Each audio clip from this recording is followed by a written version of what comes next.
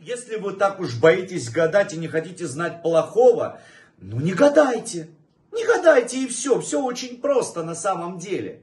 Но с другой стороны, раз вы задаете этот вопрос, то вы должны, придя к мастеру, ну, коли вы уже преодолели свой страх, сказать не говорите мне плохого. Но с другой стороны, не зная плохого, оно с вами рано или поздно случится – вы скажете, вот была у мастера, он мне не сказал. Это очень сложный вопрос, это вопрос вашего восприятия, вопрос вашей психики.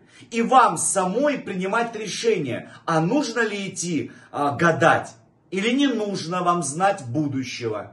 И с учетом того, что вы боитесь, значит вы легко восприимчивы. И очень хочется надеяться, что когда вы обратитесь к специалисту, вы обратитесь к настоящему специалисту. Вас не запугают, вам не сломают вашей картины жизни и вашей судьбы. Поэтому очень важно выбирать правильного мастера. Очень важно. Важно, чтобы не сломали ваш курс наговорив всякого бреда, в который, судя по вашему вопросу, вы поверите.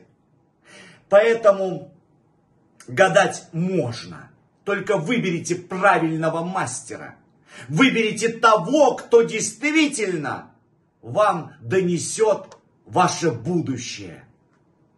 А касаемо страха, так многие боятся летать, но летают.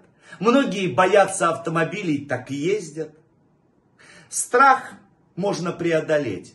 Важно, зачем вы идете гадать, для чего. Ну вот, казалось бы, идете гадать для развлечения, это одна история и отдельно будет отображена в вашем понимании. А если идете узнать будущее по-настоящему с верой, тогда идите смело и не бойтесь ничего.